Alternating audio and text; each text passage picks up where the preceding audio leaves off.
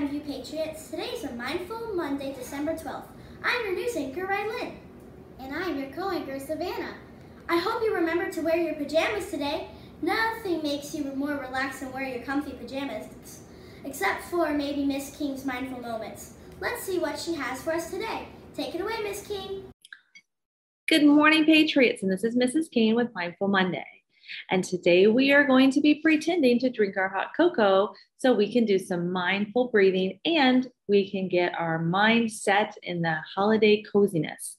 So let's pretend someone gave you a cup of hot cocoa and it is really hot, too hot to drink. Maybe it's got some marshmallows or whipped cream in it, but first we're going to smell our hot cocoa. Deep breath in, and then we need to cool it off because it's way too hot. Breathe in. Mmm, that smells delicious. And then cool it off. Not quite ready yet. Let's breathe in again. And then cool it off. Now let's take a little sip. Mm, and feel the warmth as it goes down your throat and down into your belly. Take another sip. Mmm, feel that warmth. It's going to go down your throat, your chest, and then have a nice little warm spot in your belly. And we are going to take one more deep breath in and cool it off. And I hope that you can continue to enjoy your hot cocoa today and have a mindful Monday. Thanks, Miss King. The book fair was a huge success. We hope you were able to get some new books. Miss Foyle will have the results of the coin challenge and the winner of the new books for their classroom later this week. There is a lot of change to count from the money you, that you brought in. Stay tuned for the winner Senora Probst's elf has been hiding around school. Have you seen him? Let's find out where he's been. Hola. Hola. Muchas gracias for calling me. You're very welcome. ¿Dónde está mi duende? Rogelio. Ay, ay, ay. Rogelio está con los muñecos de nieve. Rogelio's with the snowmen. Oh, Rogelio. you Patriots, it's Mrs. Harris. I haven't seen you guys in forever on the news. I am here to visit you to let you know about our new Lexia and Zearn challenges. Now, I know that you probably have some incentives and fun things going on in your classroom to get you to do Zearn and Lexia and to celebrate your growth and how smart you're getting as readers and mathematicians. But we are starting a school wide competition for Lexia and Zearn starting in the new year when you come back from winter break. Here's how it works. For Lexia, we're looking to make sure that you are earning units. Yes, it's important that you're spending time on Lexia. And I know it shows you your goal minutes when you log on to Lexia, but we're more interested in the units that you're gaining. So on the far right side of your screen, you see how many units you've gained in a week. Every weekend, I'm going to go on Lexia on my end and look and see which class has earned the most units for the week. That class is going to earn a cookie party in the cafeteria. Now for Zearn, Zearn not as a concern that you're finishing lesson after lesson after lesson after lesson. That's not the purpose of Zearn. The purpose of Zearn is that you are completing at least three lessons a week. Now, friends, that you have five days of school a week, three lessons in five days, you can make that happen. So the class that has the most percentage of students completing three or more lessons, remember, I don't care if you're completing the most in Zearn, it's three lessons. That's all you got to do in Zearn. The class that has the highest percentage of kiddos that have completed three lessons in Zearn is also going to get a cookie party in the cafeteria. So make sure that you're earning those units in Lexia and then you're getting up to three lessons a week in Zearn. Now, let's pretend that we are doing this challenge today.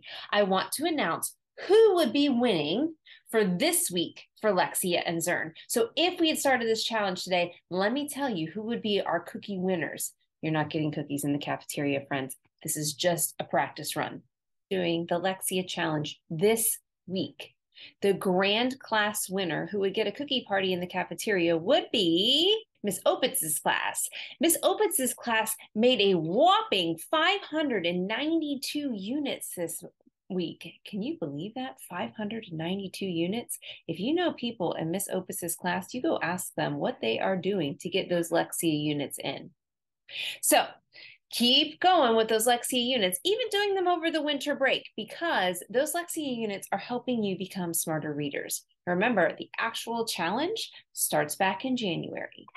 Now let's talk Zearn. Let's see which class had the highest percentage of people who completed three lessons this week in Zearn if we were really doing the challenge. Remember, you're not getting a cookie party this week. We'll do it after the break.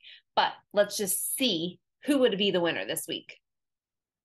We have one class this week that has completed three lessons. The entire class, 100% of this class complete, completed three lessons or more in Zearn this week. So if we are doing the challenge this week, the class that would get a cookie party for the most people in their class, the highest percentage doing three lessons in Zearn is Miss Myers' fourth grade class. Man, what is fourth grade doing down there? If you know someone in Miss Myers' class, you go ask them, how are you getting those three lessons done in Zearn each week? All right, Patriots, remember when we get back in January, you are trying to get the most units completed on Lexia, and you are trying to complete three lessons a week in Zearn. Okay, we're going to look forward to giving out those cookie parties when we get back in January. The Toys and Tots drive is almost over. Look at some of these great things our Patriots brought in. This is a really cute fuzzy dog that barks and walks. And this really cool electronic robot that lights up. And this fantastic Polly Pocket that one of our own Patriots bought just for the Toys for Tots drive. We have lots of jammies as well. Look at all these comfy, cozy jammies we've also brought in. There are only two more days to bring in the toys and pajamas. Let's help other kids in need this holiday season and spread some joy. New unwrapped toys are needed as well as pajamas in all sizes. Drop your donations off in the front office, collection bins, and show your Patriots pride. It's birthday time. Do we have any birthdays today, Rylan? Yes, we have just one. Happy birthday to Lucas P. in Miss Lipinski's class.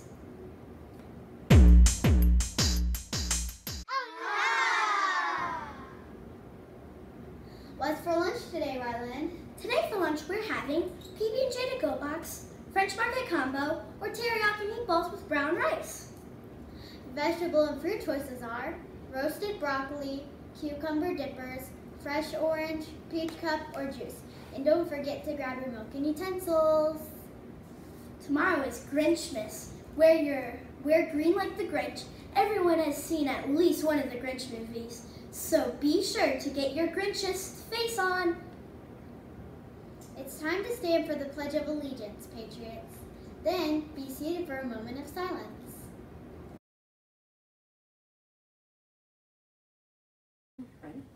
I pledge allegiance to the